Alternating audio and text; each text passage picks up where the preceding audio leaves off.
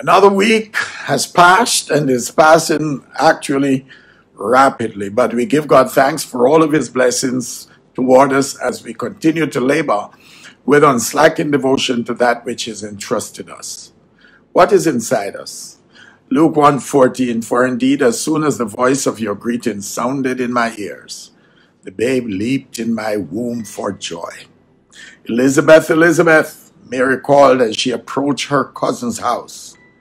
She was only a few months pregnant, but the long walk had made her very tired. Elizabeth, she called again.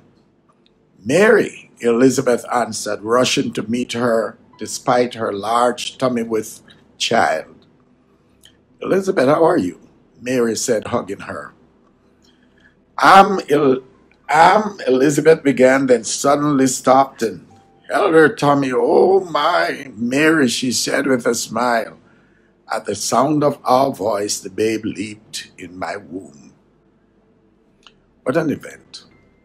It's an event that we uh, not only deal with during December months, but throughout the year.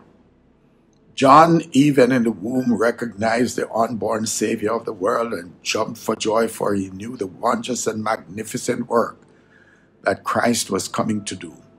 For those of us who claim to be Christians and are the bearers of Christ, can we say with certainty that at the sound of our voices, at our presence, or at our embrace, others can really leap for joy?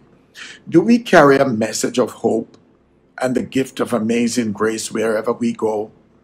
The Christ in us ought to show through us and allow those in despair and desolation to rejoice at the sound of our voice. O oh God, allow us to know the reason of our being.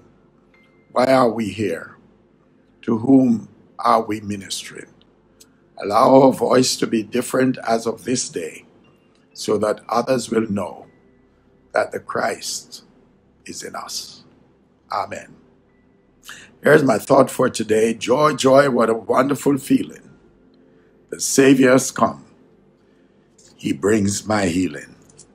Have a great and godly weekend.